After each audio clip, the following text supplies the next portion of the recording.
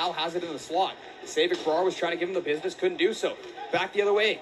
Here come the Spruce Kings. Primerano, he scores!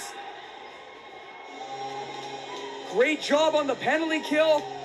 And then they get a fresh set of legs out there. Primerano comes in on the breakaway, pumps her five hole, beating Michael Sochan. Very exciting to see the Eagles down a goal, but that's what's happened right now. Charlie Bankier gets out of the box for the Spruce Kings and goes straight to the bench. As he gets to the bench, Primerano jumps right on.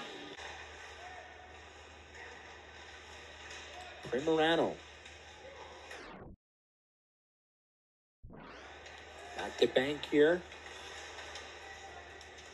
Bankier holds the line, waiting, shooting off the board, and he scores! Charlie Bank Bankier! What a blast! I'm not sure if it went off a body in front, but it doesn't matter. It's 5-1 Spruce Kings.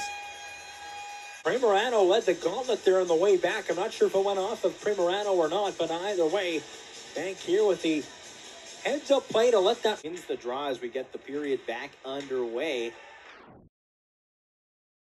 The centering shot. Macau with a backhand, and wouldn't you know it, just like that, Luca Primerano knocks this one up at 2 2. We've seen we've seen some of that come true tonight. A fairly goofy one for sure, and not only that, I did ask Pass ahead finds Adam Mendelson. Mendelson. To the line here to LaFranc. LaFranc towards net, looking for a tip on rebound opportunity, and they score. Luca Primerano makes it 3 1 Prince George. For Prince George.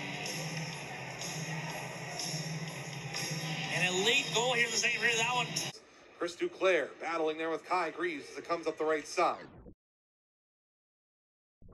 Schneider carrying back and across the blue, left with circle feed. Luca Primerano scores. Left wing circle. Primerano put a shot on.